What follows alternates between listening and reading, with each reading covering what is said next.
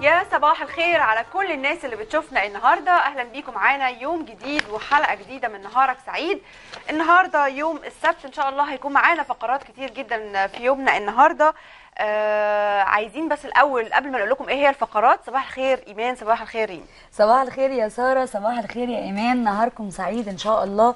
آه زي ما سارة قالت عندنا فقرات كتيرة جدا هنبتديها بفقرة الصحافة اللي إحنا معتادين عليها عشان نعرف أهم العناوين آه اللي كانت في الصحافة آه النهارده.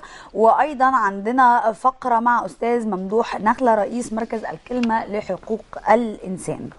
عندنا إيه كمان؟ عندنا بعد صباح عليكم الأول. صباح الخير مشاهدينا. عندنا فقرات كتيرة جدا وفي موضوع مهم جدا بيشغل مصر دلوقتي وهو الحمى القلاعية.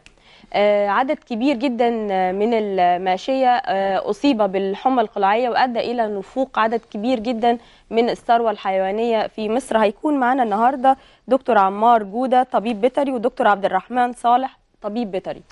تكريم المرأة. النهاردة هيكون معانا فقرة حلوة جدا مع ضيفتنا الأستاذة هالة البدري وهي صحفية. هنتكلم عن تكريمها في السويد وتفاصيل وكواليس التكريم ده هيكون عامل إزاي وإيه اللي حصل بالظبط. نعرف النهارده من خلال الفقرة دي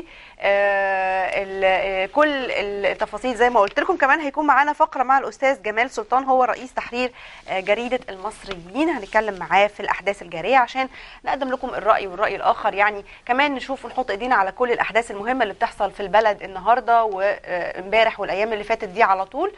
دلوقتي بقى هنعمل إيه يا بنات؟ دلوقتي هنطلع نشوف تقرير عن آه تمارين آه تمارين لتقوية وتحسين العضلات. نشوف التقرير ده ونرجع بقى عشان نبتدي يومنا النهارده.